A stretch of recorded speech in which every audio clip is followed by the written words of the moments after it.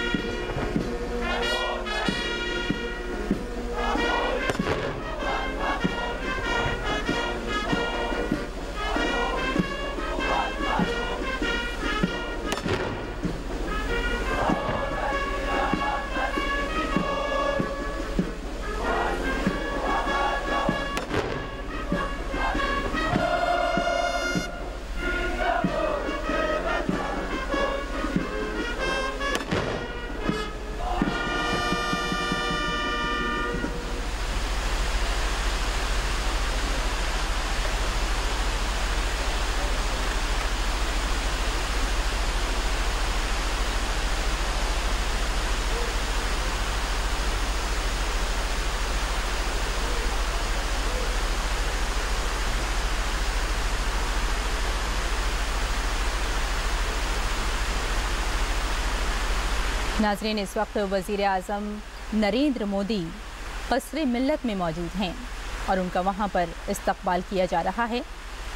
Tajikistan की राजधानी है दोशंबा और दोशंबे में कसर मिलत जो जगह है। वहाँ वज़ी अजम नरेंद्र मोदी का शानदार इस्तबाल हुआ।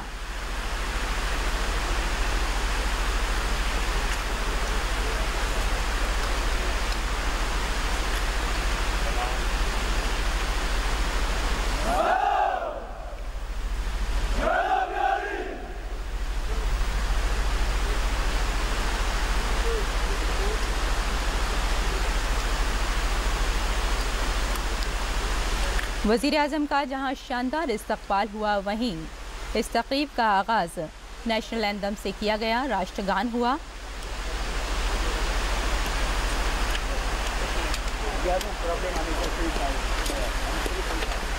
वज़ी अजम इस वक्त वहाँ के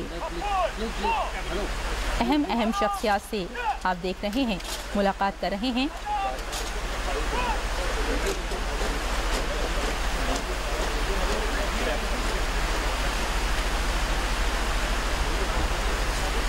और नाजरीन, इस वक्त आइए सीधे बात करते हैं अपने नुमाइंदे गौतम से जो इस वक्त मौजूद हैं दो शंबे में। जी गौतम, बताइए, ताजिकिस्तान में वज़ी अजम वहाँ के लीडरों से आज बातचीत करेंगे तो क्या क्या उमूर पर बात हो सकती है वहाँ पर?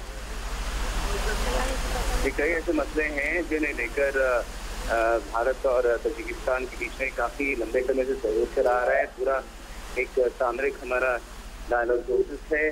स्ट्रेटेजिक हमारी पार्टनरशिप है और उसके तहत हम हर मुद्दे पर जो एक राष्ट्रीय विकास के लिए ज़रूरी होता है उसकी उसको महफूज रखने के लिए ज़रूरी होता है।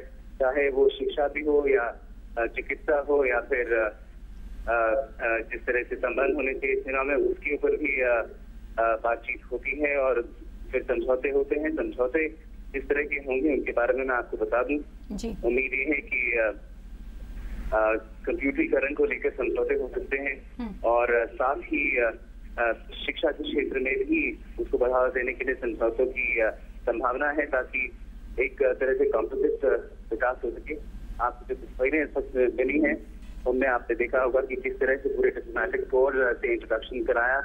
राष्ट्रपति मौनी ने प्रधानमंत्री मोदी का। और हम्म। अब वो मंच की तरफ़ जा रहे हैं।